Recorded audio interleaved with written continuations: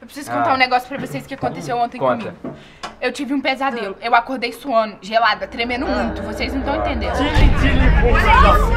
Não, velho, mas não é coincidência. Três pessoas. Não, não,